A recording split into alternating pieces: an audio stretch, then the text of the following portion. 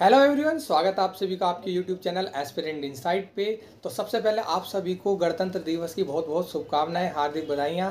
तो आप ही काफ़ी लोगों के, आप लोगों के कमेंट आ रहे थे कि जो एग्रीमेंट फॉर्म है, वो कैसे फिल करना है और कैसे उसको बनवाना है एच के साइन के बारे में। तो उसी के रिगार्डिंग में आपके लिए वीडियो लाए क्योंकि मैं आज छब्बीस जनवरी को, वैसे तो कल भी तहसील बंद थी, आज भी तहसील बंद थी बट आज छब्बीस जनवरी के दिन तहसील के अंदर जो हमारे एच साहब थे, विनय कुमार सिंह वो आए हुए थे तो मैं अपना एग्रीमेंट फॉर्म फिल करके उनसे, वहाँ से अपना एग्रीमेंट फॉर्म बनवा के आया हूँ। तो मैं आपको पूरा प्रोसेस बताता हूँ कि स्टेप बाय स्टेप क्या क्या डॉक्यूमेंट लगे, कौन सियोरिटी बना, कौन विटनेस बना और कैसे मैंने फॉर्म फिल करा। तो उसके लिए मैं अपना जो एग्रीमेंट फॉर्म है, वो आपके सामने स्क्रीन पर लाऊँगा और प्रॉपर तरीके से चीज़ों को बताऊँगा। आप उसे देखिएगा और कैसे कैसे फिल करना है वो प्रॉपर स्टेप बाय स्टेप देख सकते हैं।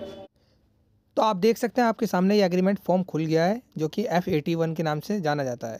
अब इस एग्रीमेंट फॉर्म के अंदर होता क्या है कि इसमें जो एग्रीमेंट फॉर्म भरवाए इसलिए जाता है कि आप ऐसे श्योरिटी और दो विटनेस आप एच के सामने प्रस्तुत करें और ऐसे श्योरिटी जो होता है, वो आप किसी को भी रख सकते हैं। इसके बारे में डिटेल बताऊँगा अभी देखो पहले आप समझ लीजिए क्या है कि इसके अंदर फॉर्म के अंदर कुछ इस तरह से आपका आएगा, जिसमें राइट साइड में आपके सिग्नेचर होते हैं।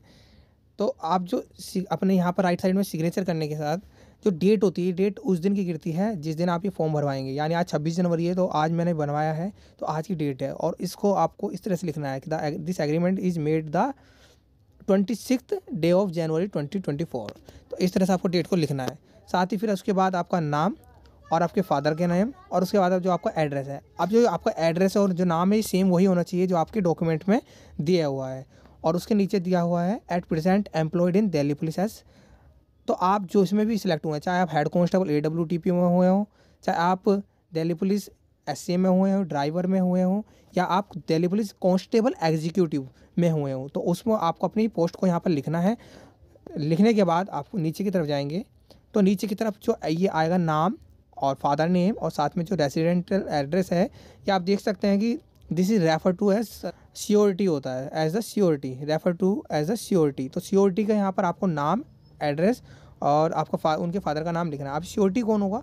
श्योरिटी आप जो मैंने बात करी थी तो वो बता रहे थे कि आप अपने फादर मदर को छोड़कर आप किसी को भी श्योरिटी बना सकते हैं। तो मैंने अभी बताऊँ आपको तो मैंने अपने चाचा को श्योरिटी बनाया है इसमें। तो आप अपने रिलेशन में फ्रेंड में या कोई आपके पड़ोस में है किसी को भी आप श्योरिटी बना सकते हैं। तो आप इस चीज़ को ध्यान रखें। और अब मैं अगले पेज पे चलता हूँ, जिसमें थोड़ा नेक्स्ट डिटेल है।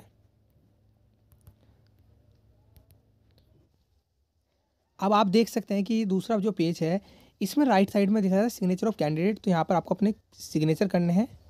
और ये जो आपके सिग्नेचर होने के बाद, ये दूसरे सिग्नेचर इसलिए कराए थे कि एच के सामने प्रस्तुत होने के बाद ही मैं पहले से सिग्नेचर करके गया था बट उन्होंने कहा था कि दोबारा सामने प्रस्तुत होने के बाद सिग्नेचर कराने को बोला था, फिर उसको गोला कर दिया था। और ये पुलिस ऑफिसर में आपका अपना नाम और साथ में आपका रोल नंबर लिख देना है। अब जो सियोरिटी है, उसके सिग्नेचर उसका फुल एड्रेस। अब एड्रेस और नाम सेम वही होना चाहिए जो आपका आधार कार्ड है।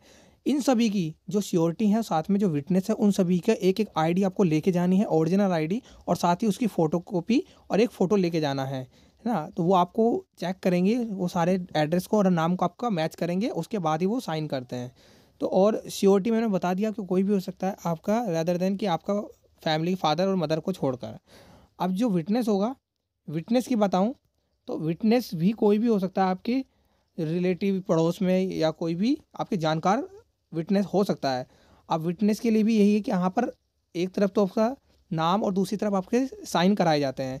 ये तीसरे साइन उन्होंने अपनी प्रेजेंस में कराए थे और साथ में जो एड्रेस है वो सेम वही एड्रेस होना चाहिए जो आपके डॉक्यूमेंट में दिया हुआ है। तो इस चीज़ का भी ध्यान रखें कि डॉक्यूमेंट अपना ज़रूर लेके जाएँ, उसके बाद ही आपके वो सिग्नेचर करेंगे और दो सियोरिटी आपके दो विटनेस आप लेके जाएँगे।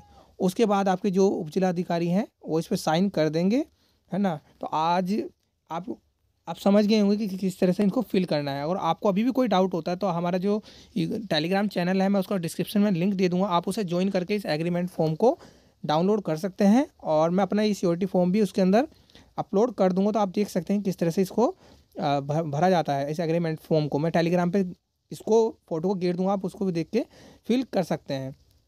उसके बाद भी अगर आपके कोई डाउट होता है तो आप हमारे टेलीग्राम पे मुझसे पूछ सकते हैं, मैं आपकी रिप्लाई दूँगा और साथ ही आप यूट्यूब पे भी कमेंट कर सकते हैं, मैं ज़रूर उसका रिप्लाई देने की पूरा प्रयास करूँगा।